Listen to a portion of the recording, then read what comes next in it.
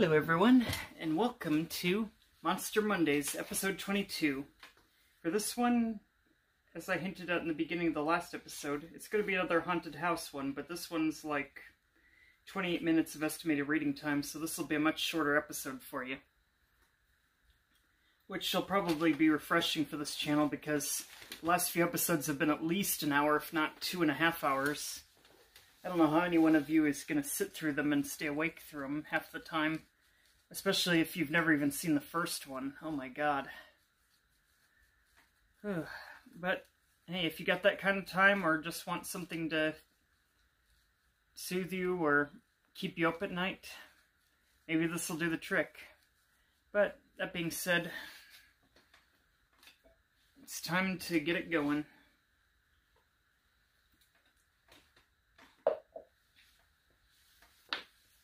And no, if I gotta be honest, I don't have a drinking problem.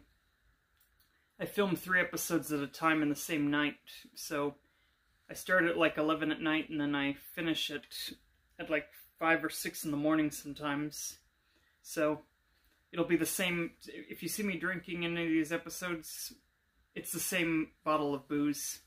Sorry to ruin the magic there, but I mean, making these hour long specials literally once a week would just take too much time not to do a few pre-recorded ahead of time, especially if I've got two jobs I'm working with right now. So yeah. Anyway, the Diana house, Diana house, or however they pronounce it.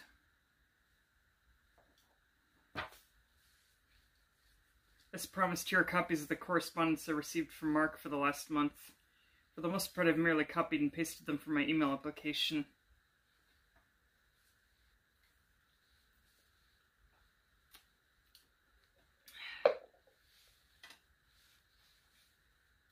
As you'll read, he requested this in hopes that you'll better understand why he did what he did.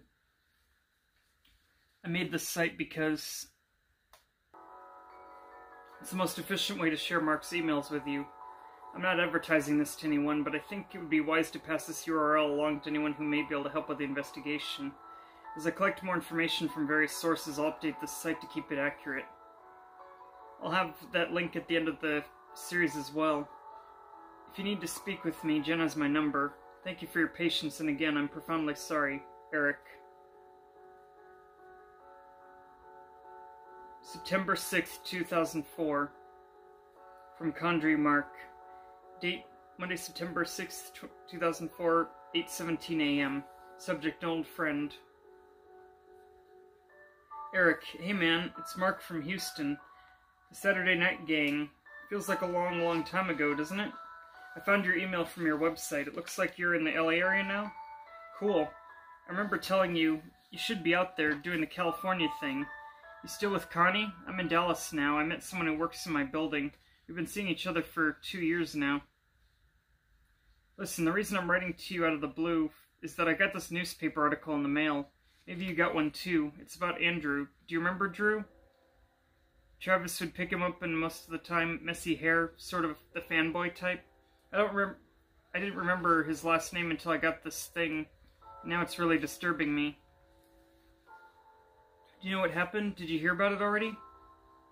Let me know if you have some time to talk. I can call you or you can call me if that works better. I'm to see if I can track down Travis and Dave. A quick search didn't seem to turn up any leads, but maybe they just don't have websites. Plus, you, you still talk to either of them, let me know.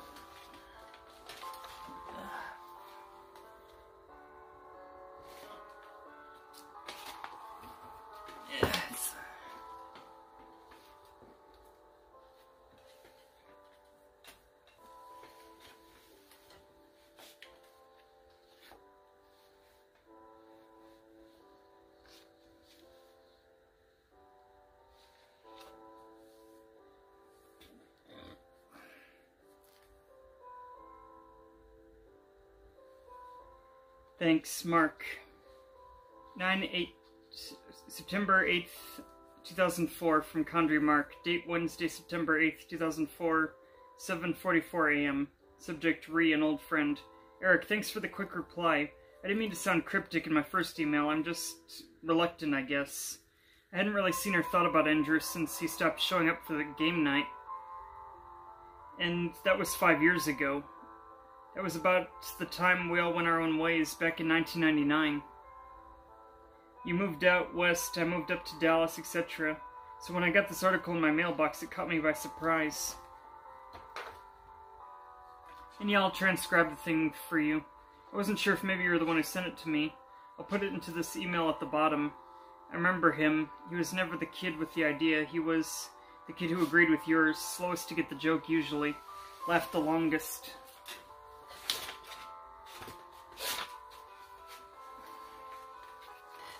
That's Andrew in a nutshell, yeah. At least that's how I remember him. He got on my nerves sometimes, but damn if he didn't love being part of the gang. He'd ask me for some poker chips on card night or borrow dice from my bag, that sort of thing. Whenever we played Tecmo Bowl on your Nintendo, he always wanted to be on my team, which which would have been fine if he was any good. I haven't heard from Travis or Dave in years. They fell off the radar about the same time you did. None of us made much attempt to stay in touch. It was just one of those things. That's okay, I wasn't trying to point fingers, it happens, but I was hoping you had already heard about Andrew. You'd gotten a copy of the article. I still haven't been able to get her a number or email for Travis and Dave. Maybe they know more about this than we do. Andrew usually hitched a ride with Travis most of the time, and he was on his he was on the way home for Travis. Didn't Andrew live with his mom, like in an apartment, and his stepdad was a real estate broker? Had the one house some way out past Highway 6. Do you remember that? Andrew was scared to death of that house. Here's an article. There's a photo of Andrew on it with what looks like his driver's license photo. Still had messy hair. Gunman shoots two, kills self in, in Boise restaurant. Diners at the roadside breakfast cafe in Interstate 84. Fled to the parking lot in a panic yesterday afternoon when a man entered and began shooting patrons inside, killing two.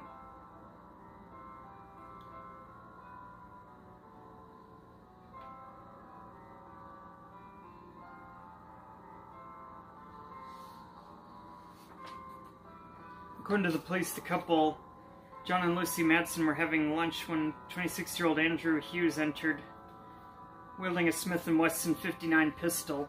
Witnesses claim the perpetrator was muttering to himself as he approached the smoking section and opened fire into the first occupied booth, fatally wounding the Madsens.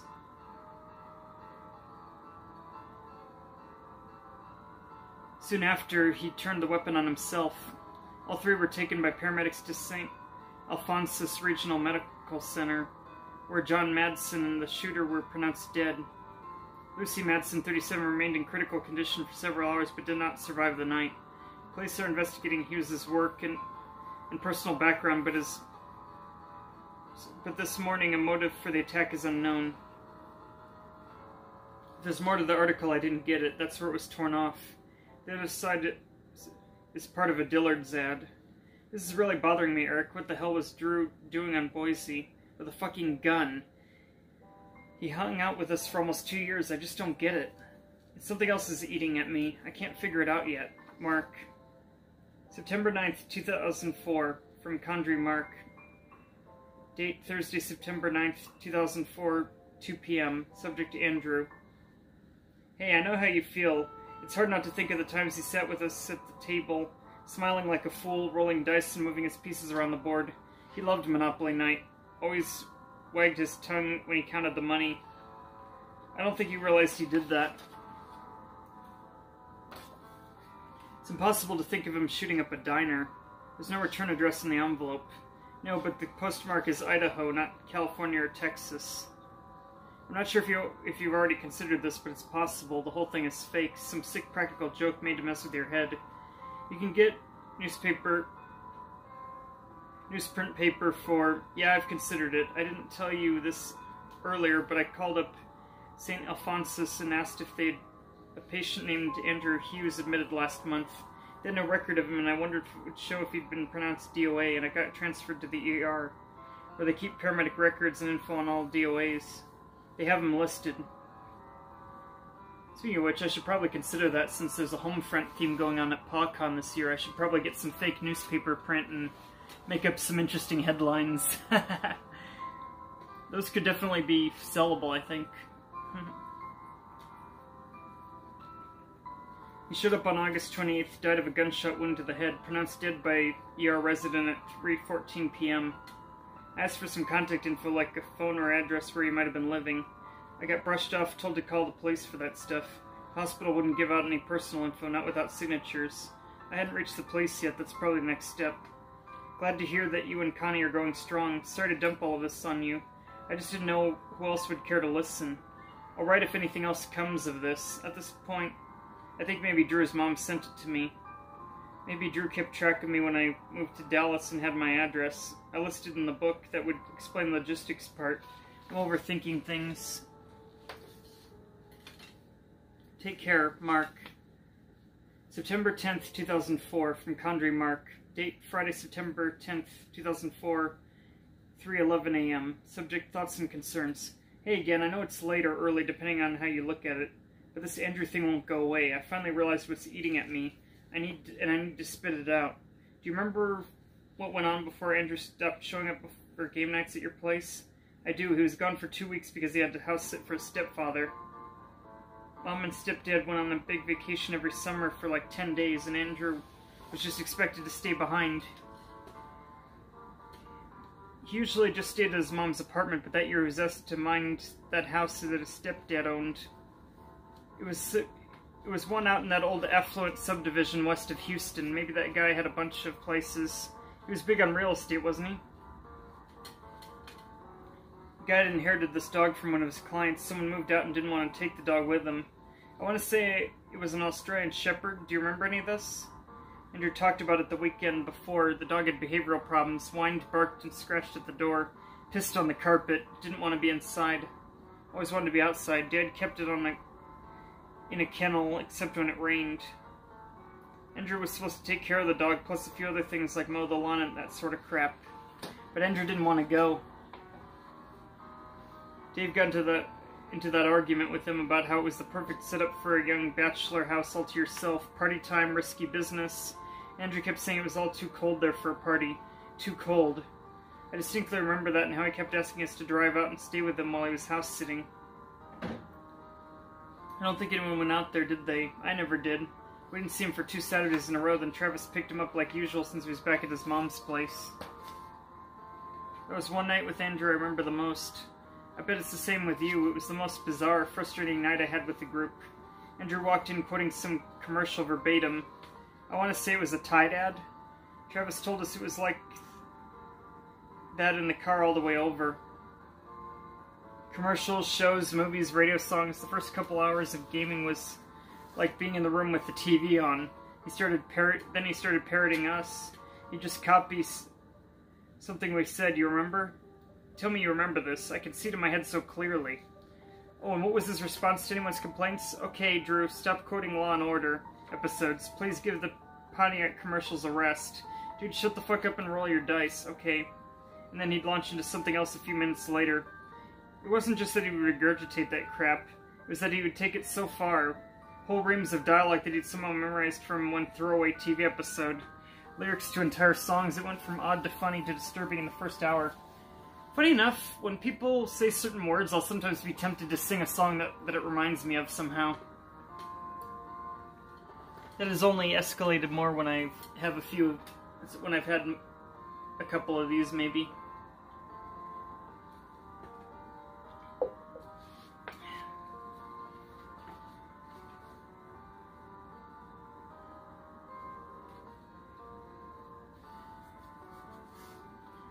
I'll come out and say it, whatever happened in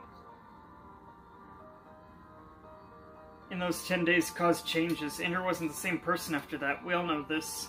We never talked about it. At least not with me around, but fuck if we didn't know instantly that the person who came back from that house was not Andrew. I wrote before that I hadn't thought about Andrew since 99. That was a lie. You know the way your brain sometimes reminds you of things you hate to dig up? The ones that sour your stomach? I've thought about him a few times about that night. Was that the start of his madness, or whatever it was that drove him to shoot up a diner? Were we there to see him first lose his grip? Jesus, Eric, why the hell didn't we say anything? From Condry Mark, date Friday, September 10th, 2004. 11:38 a.m. Subject: The door is open. Eric, I woke up to the phone ringing this morning. Turned out to be the reporter from the Idaho Statesman. She finally called me back. Did I tell you I called to track down the source for the article? She didn't have any new developments on the story, but would continue to follow up with the police. Asked if she had any other details about the crime, stuff that didn't find its way to the article, and we sort of went over our notes. Most of it I already knew, but there was one piece of info that caught my attention. She wrote in the article that Andrew was mumbling or muttering to himself when he entered the restaurant, but she didn't put it put in what he was saying. According to witnesses, he kept repeating, The door is open. Does that make any sense to you? Is the door open? Write me back, Mark. September 12th, 2004, from Condry Mark. Date Sunday, September 12th, 2004. 5:10 p.m. Subject a plan.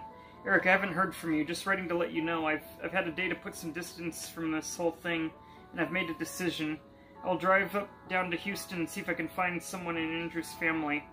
I once rode with Travis to pick Drew up, and I, I think I know where his mom used to live. From there, we maybe we could find his stepdad in the house. I've already tried the Boise lead already. I called the, the cops and got more questions than answers, and now some Lieutenant, Lieutenant Perez plans to call me back if he needs more testimony from me. Like I know anything. Apparently, Andrew was living alone in a rental up there, working at a Blockbuster video. That's about all I got from the cops in Idaho. So I'm aiming for Houston. Even driving my own car in a cheap motel, it's still going to cost me about $200 for the trip. Jenny is worried about me. She'd prefer I stay and pretend the police will figure this out independently. But I have to go down there, Eric. Here's why. I think Andrew was afraid of the house for a reason. Whatever that reason was, during these ten nights something had emptied him.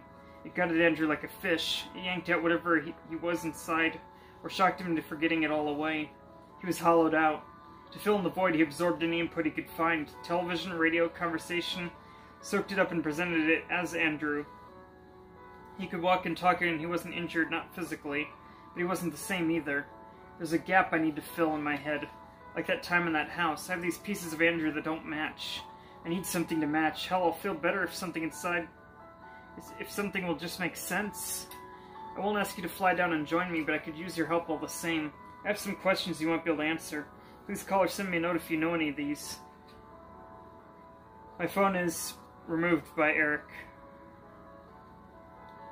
What was the stepfather's name, first or last? What was his mom's name? What was her last name? Also Hughes? What was the name of the subdivision where the stepdad's house was? I think Andrew mentioned it. I hope I haven't freaked you out too much with my crazy talk. I know it probably comes off as sounding absurd, some of it, or maybe not. You were there for some of this. If you really think I'm off my noggin, tell me. By all means, tell me. Hope to hear from you soon, Mark. September 13th, 2004, from Condre Mark. Date, Monday, September 13th, 2004, 8.22 a.m. Subject, reply a plan. Eric, thanks again for calling. I got your email as well, and it mentions a few things we didn't discuss over the phone, so I wanted to add a comment or two. What I remember was what Travis told us. That time he went to pick up Drew and had to get go to, up to his room to get him. That was the last time Drew gamed with us. Travis went upstairs to his room, and the kid was pacing back and forth by his bed. Everything was neat and tucked in, but the carpet was worn in a line where Drew was walking. Like it's all he did. Yes, I remember this too. And the way Travis told the story, like he wanted to sound funny, but he didn't believe it was. And Dave laughed and he said, Man, that dude's a broken record, and we all agreed, nodding and chuckling. Fuck, we all just let it go at that. Like it was easier to write him off, but Travis was the last one to laugh. He'd seen the room with his own eyes. Go, I really would, but Connie got sick last night, and she's still throwing up this morning, and I don't feel right leaving town with her like this. Understandable, you stay there. I'll continue to email you on this thing. I can't really talk about Drew with Jenny. She never knew him.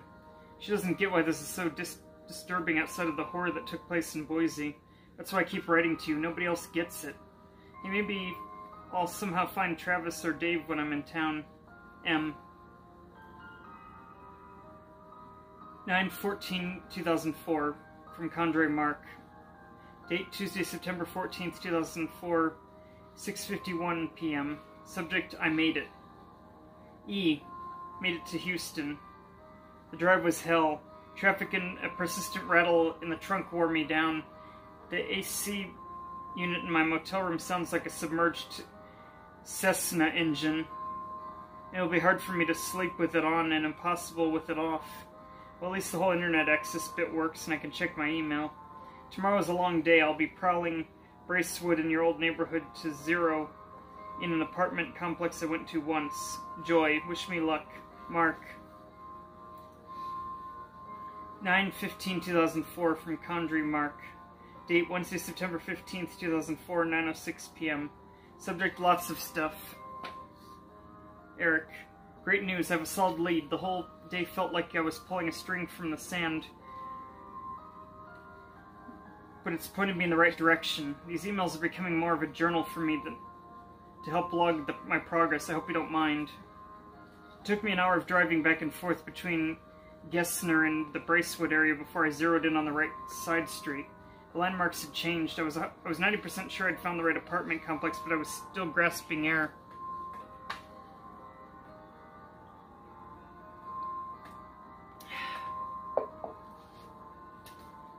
With no name for Drew's mom and no guarantee her her last was Hughes, I went to the manager's office and just got lucky. Her name is Nancy Hughes, and she stopped paying rent in September of 1999. Drew paid it for the rest of the lease term, which ended the following February according to the note in the resident file. He settled in cash. Seems mom moved out or just up and left one day. Poof. Andrew was living alone in the apartment then. How was he paying for rent with just a minimum wage job? I showed the manager the article about Andrew and then I lied. I said I was a private investigator. I don't know why. Maybe just to justify why I was having her dig up rental information from five years ago. Anyway, she got off on it and kept rooting around in the Hughes file for me like a movie sidekick. She found something. A third-party check covered the rent for December of 98. Kurt Malone. I think his this is his stepdad. Manager photocopied the bill for me, and ten minutes later I got the phone number printed with Kurt's address in the upper left-hand corner. No luck there. Disconnected. So I took another approach and called 411 for a local realtor service. You could search for contact information for a specific re realtor.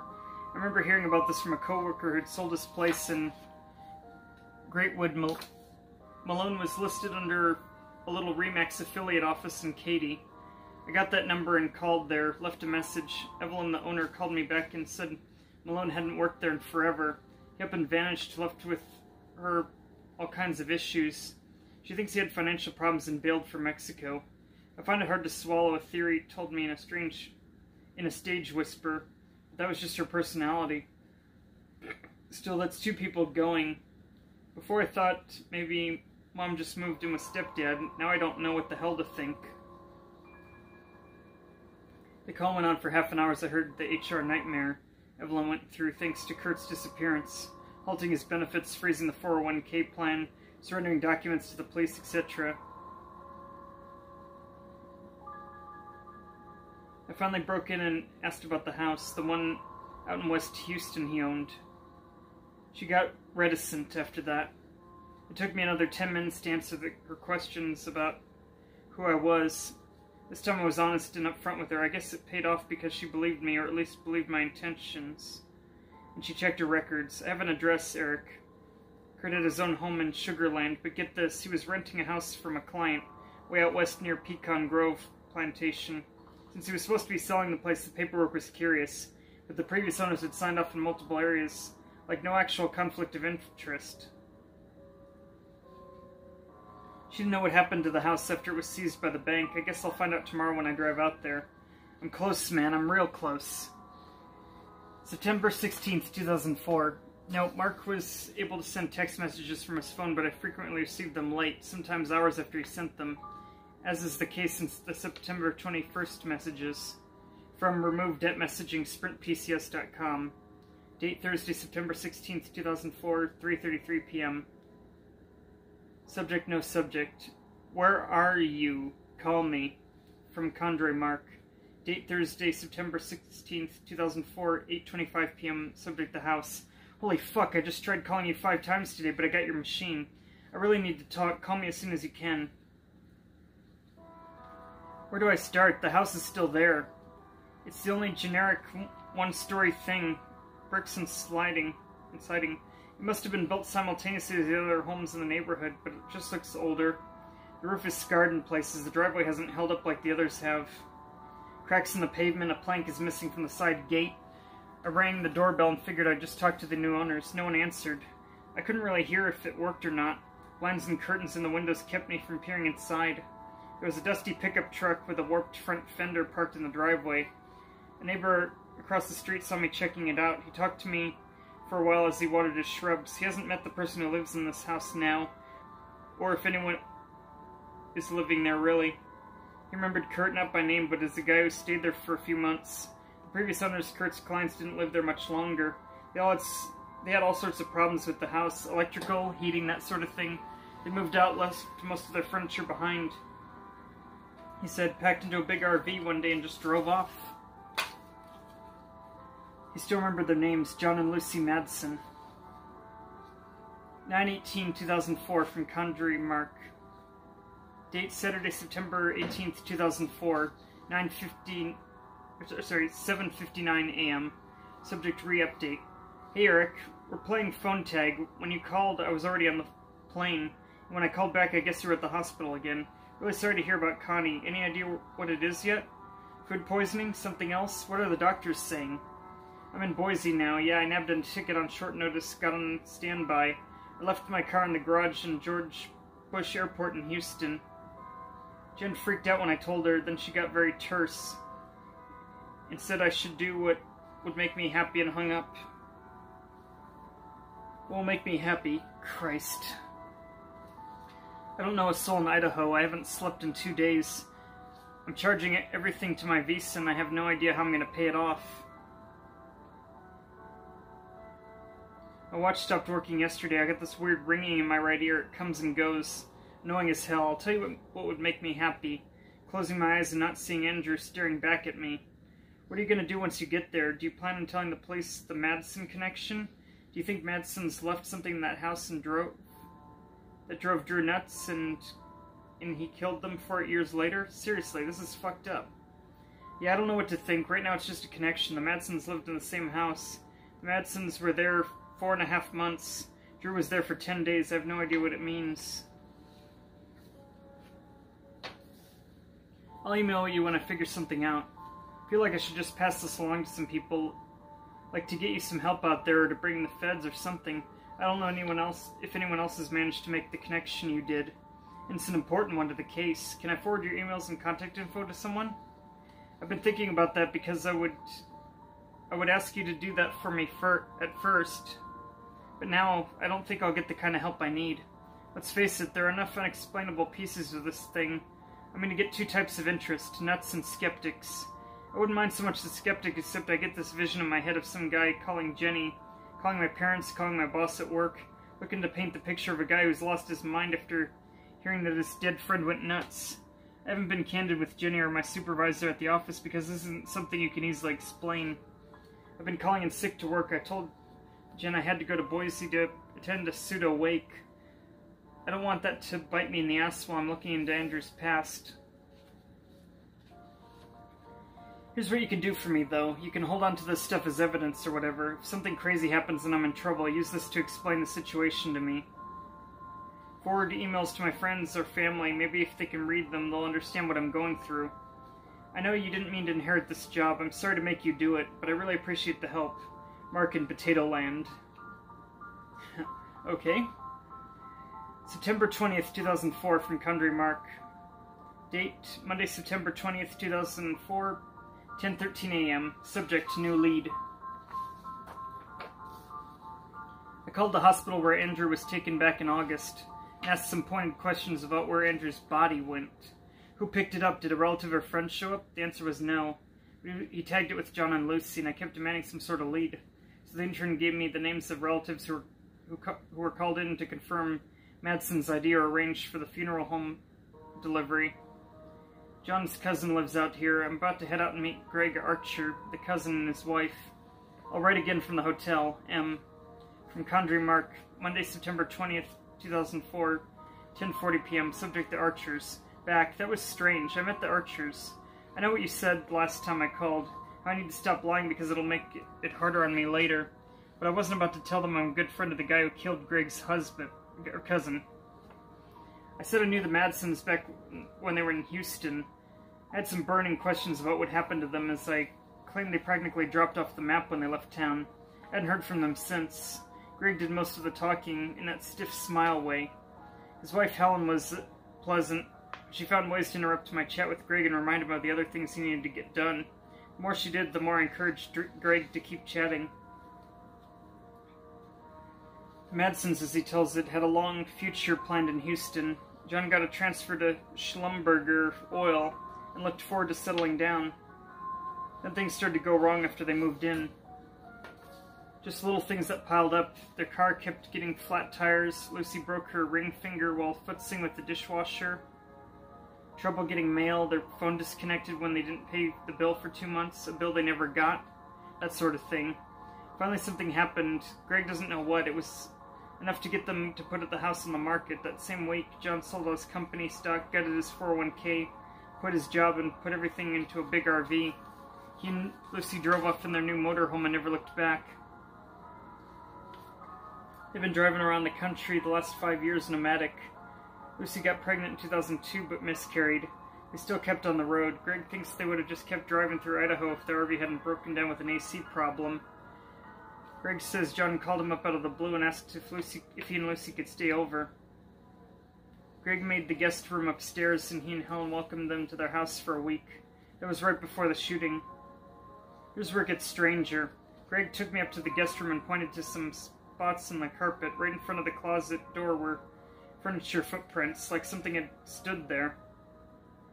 Greg said it was the dresser, the one against the opposite wall. They barricaded the closet door for the duration of their stay. It was the strangest thing. He also noticed they kept the bedroom light on around the clock and bundled up with a spare set of woolen blankets for the bed. Greg never found the right way to ask several questions. I think he felt a little better talking to me about it. I'm not his cousin, but I'm someone that listened to him and agreed it was bizarre. Left Greg and Helen's not feeling any better. I felt worse now. I ache the way you're sore right before you get really sick. I'm trying to put things together, I really am. I have to go to the police now, don't I? I'll go first thing in the morning, I promise. Eric. 921 2000, September 21st, 2004. From Condrey Mark. Date Tuesday, September 21st, 2004, 2.21 a.m.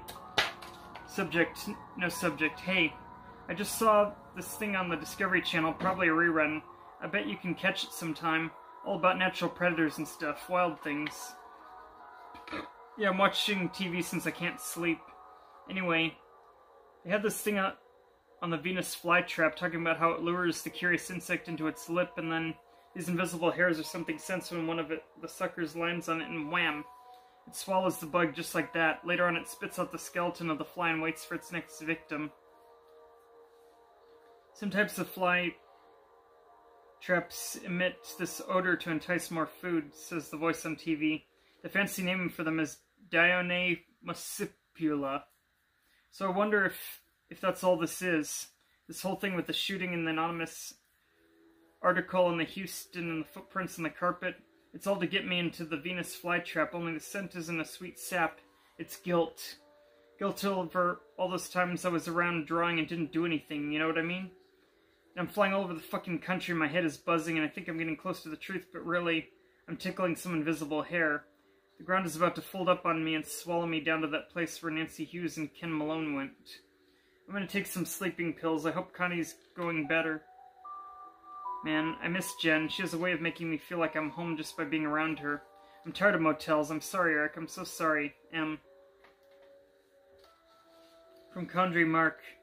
Date Tuesday, September 21st, 2004, 12.15 p.m. Subject, where Andrew stayed. Eric, bingo. I went to the police and asked to talk to Lieutenant Perez. Instead, I got Detective Sokolov. Sounds Russian. He's, he's, he said he was working on the Hughes case now. I'm more inclined to think he was just running interference for Perez if I was a wacko. Anyway, I told him about the Madison connection with Andrew to see if that would help. He said they'd look into it, then started with the questions about me, and I looked for a way to cut the chat short. Police stations make me uncomfortable. The rest of the talk was rather banal, but at the end of it, I almost offhandedly he asked if I wanted to sign for Andrew's personal effects since they had copies of all the important stuff. I said sure, even though it made me feel like they've already written off this case. Drew's been busy the last four years and, is, and has driver's licenses for Kansas, Colorado, Arizona, California, and Idaho. Looks like he stayed at friends' homes because none of the addresses printed on the licenses have apartment numbers. His Idaho license is just two months old and has the address of the rental home where he stayed. I'm gonna drop by this afternoon and see what happened to his things there. Maybe there's a clue on to how he knew where to find the Madsens or why he shot them. I'm certain Perez or someone has done this already, but I'm not sure he looked very far. Wish me luck, Mark. From removed at messaging.sprintpcs.com. Date Tuesday, September 21st, 2004, 4.14 p.m. Subject, no subject. Standing in front of the house now. It's the same one, the Houston house. Same marks on the roof, same fence damage from removed at messaging.sprintpcs.com. Date Tuesday, September 21st, 2004, 4.22 p.m. Subject, no subject. Just talked to an old man across the street. He says the house has been here for years, rented out as far back as he can remember. It's in all caps, so I'm uh, speaking a little louder. Not, not that one can really tell since I'm having to speak over music as well. From removed at, at messaging.sprint.pcs.com. Date Tuesday, September 21st, 2004. 4.25 p.m. Subject, no subject. I rang the doorbell. No answer. It's exactly the same, Eric. I don't understand. From moved at messaging.pcs.com. Date Tuesday, September 21st, 2004, 4.29 p.m. Subject, no subject. Ears ringing again. I don't know what I'll do. It's how is, how is it the same? From removed at messaging.sprintpcs.com. Date Tuesday, September 21st, 2004, 4.33 p.m. Subject, no subject. There's a way into the house here. From removed at at messaging.sprintpcs.com. Date Tuesday, September 21st, 2004. 4.33 p.m. Subject, no subject. Where are you? Pick up the phone.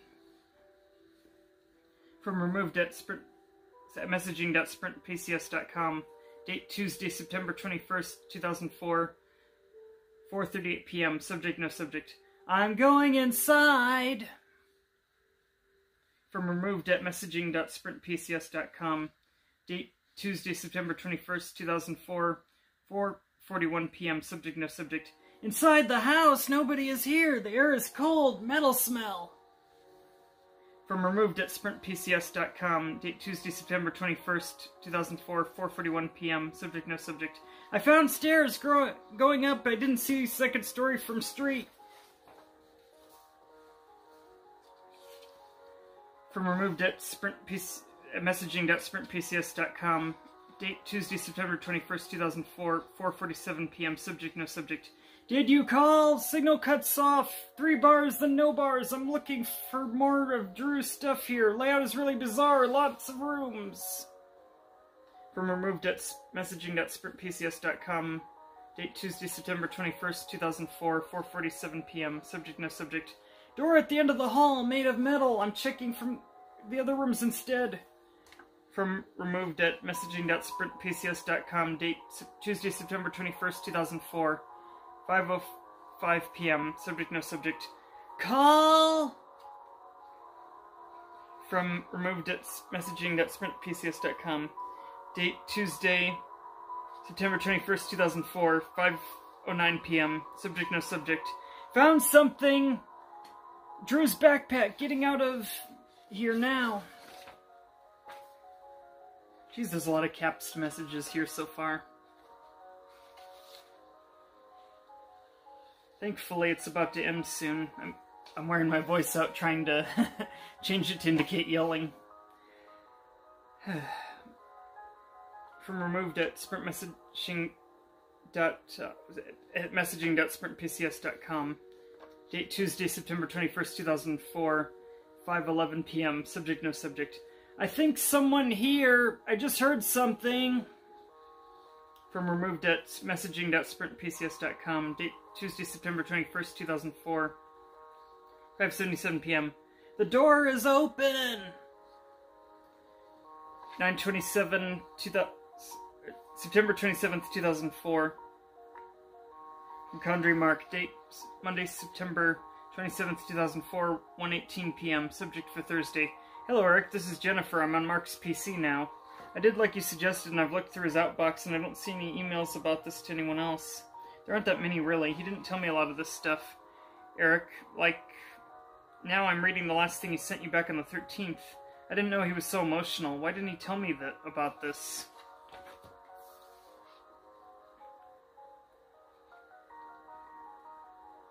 But, but anyway, like you said, he, he wrote it to you from his laptop when he was in Houston and Boise.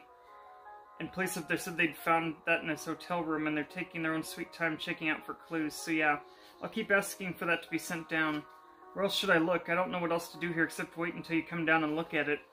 He does have an AOL Instant Messenger, but I can't tell where the chat logs would be saved or anything if he's done that. Please tell me what else I can do.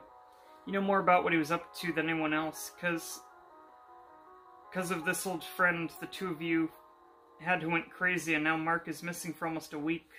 Please send me the other emails he sent you, please. I want to know now. Jen. October 1st, 2004, from Postmaster. Date Friday, October 1st, 2004, 1.30 p.m. Subject undeliverable mail. Unknown user X. RCPT2 generated the following response. 550 unknown user less than x at x dot x greater than symbol. Original message as follows. Greater than greater than from x at x dot x. Greater than greater than date pound date um colon Friday October first two thousand four. 12:47 p.m. Greater than greater than subject no subject greater than greater than Greater than, greater than. Human arm and leg bones found on street! Greater than, greater than. Scottsdale residents got a shock at the start of their morning commute when they found what seems to be human bones laying on the road on Sage Drive. Greater than, greater than. Crime scene technicians arrived with half an hour and began to sweep the scene for more evidence that might help identify this human victim, or at least establish an approximate time of death. Police spokesman Daniel Swift said bone evidence alone isn't usually enough to determine the identity or even the cause of death. These remains just don't didn't just appear on the road, they were moved here, Swift said. Therefore, we're asking any witnesses to contact the police with information that might pertain to what happened.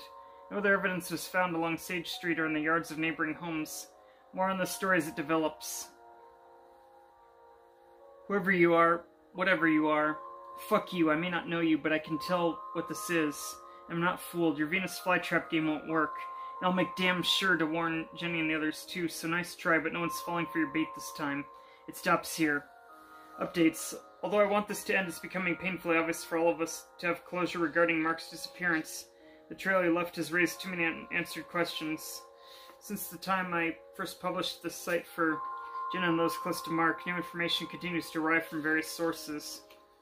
In my last posted email, I refused to take the bait. I said it would stop here, but it doesn't stop here there. Not by any stretch. This page will chronicle my findings and other resources as I discover them. Some may have no connection to how or why Mark vanished, only time will tell. A final note for those of you like like Sandra or Nathan Condrey. The truth is I don't know yet what to believe with this whole thing, but I know what I don't want to believe. October 14th, 2004. Jen called. She spoke with the Boise police again yesterday, and they have finally agreed to ship down the laptop. Once she gets it and looks at it herself, she'll send it my way. If I find anything new, I'll add it here. October 17th, 2004. Among the spam today, I received this email from someone who seems to have stumbled upon the site. From Mr. Paranoia.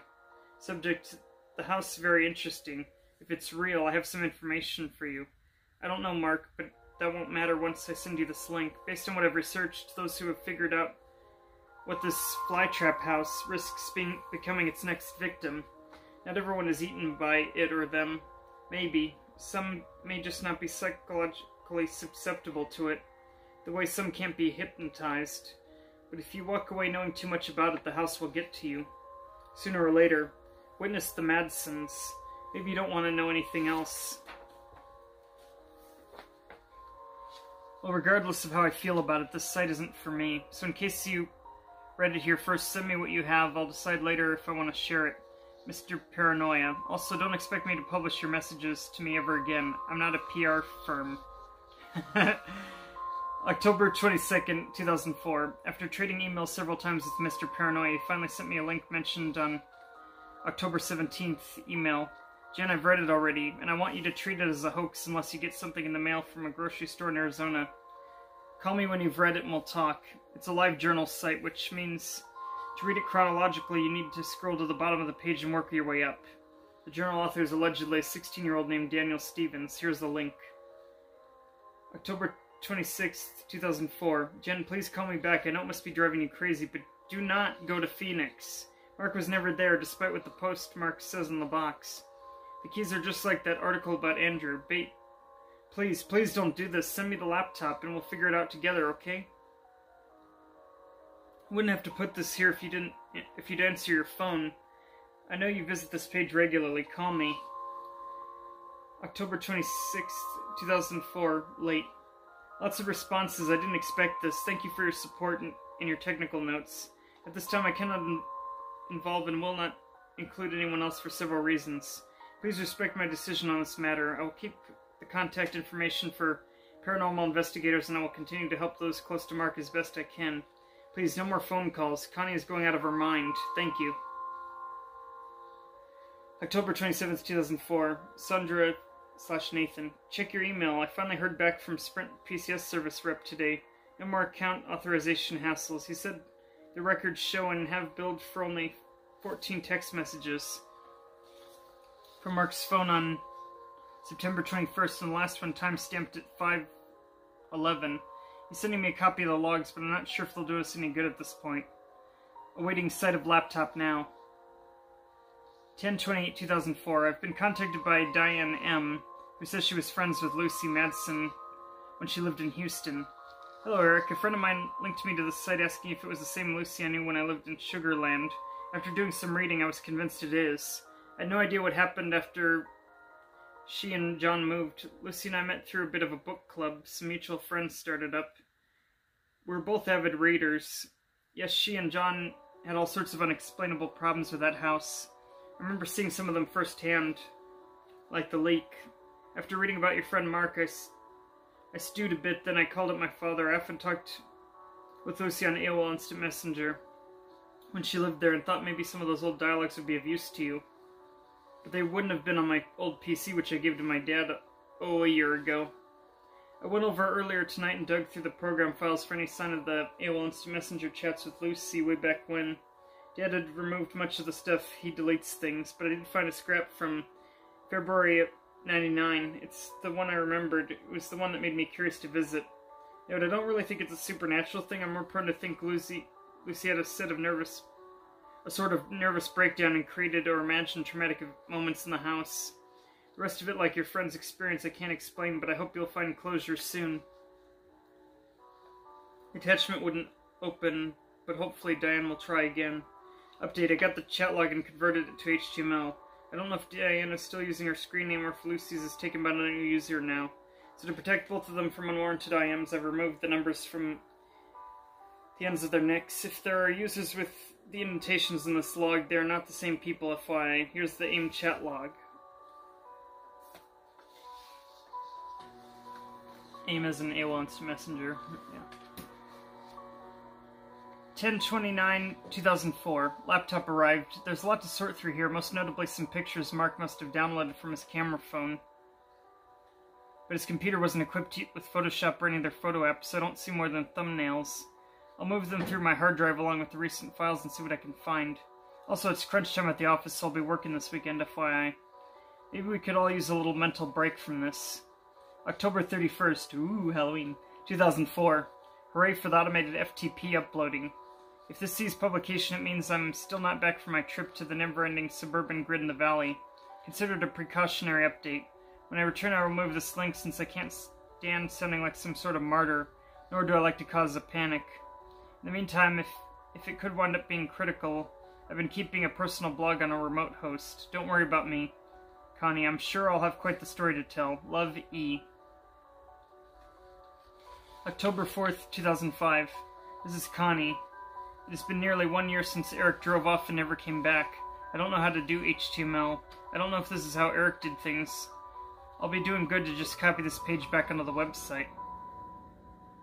What has happened in a year? A lot. Not enough. I don't have any answers, just a million questions. Let's see, I met Jennifer and Rachel, who's Kim's girlfriend. The three of us still keep in touch. Legally, Eric and Mark Kim are considered missing. This makes some things very hard on us. What else? I have a mountain of files, emails, letters, digital photos that may or may not have anything to do with your disappearance. Every time I tried to start in, I got overwhelmed, so last week I hired someone to go through all of it for me and see if anything made sense. The reason I'm finally having finally learning this thing is that he has found one or two pieces to this puzzle, and I feel responsibility to continue what my husband began. This is a test post later this week after I hear back from Jenny. I'll post more information. X. October 12th, 2005. Well, for one reason or another, the new informant has yet to be verified, so until I hear back from the source, I can't post the link. Now I get how hard this is. You never know who's on the other end of a modem. Thanks for your patience. All three of you are still reading. X. October 14th, 2005. Although she just used her diary to lash out at me instead of answering me privately, I will link the live journal by a woman who claims to know about both Mark, what both Mark and Eric are investigating. Edit. Okay, I'm still figuring out the link thing. The blog of Lauren Mathers, hoping that works. X. Credit to Eric Heisserer on Reddit. And that was the Dionaea House. Final thoughts? Very engaging, very intriguing, and uh, I think it, it might have actually been longer than I thought it would be in terms of reading time, but that's okay. I mean, it was about the same length as that last um, one in terms of pages, even if there was maybe less text on, on each page, so it's hard to know, but on playback we'll know if this was shorter or not. That being said, um, it very much uses the haunted house in a slightly different way than than you would think with a story like this. When I went into reading about it, I thought, hmm, is this going to be something where they explore an old haunted house after it bugs them to no end, or, you know, how's, how are they going to execute this? It turns out, you know, keeping journals, you know, weblogs, things like that, it was a very interesting way to, to go about this and text between each other, instead of that typical, oh, you go in for a prize, or you go in on an investigation, find out, you know, the truth about it. Here, we're kept um, in the dark about what actually it is about that place. That seems to make people disappear when they know too much. And if such a place exists, I, I certainly know there's more than a few paranormal investigators that would love to go check it out. That being said, this has been Monster Mondays, episode 22, with your host, the Forsaken Scribe. With that, I say goodnight, and remember, Mom's not here, kids.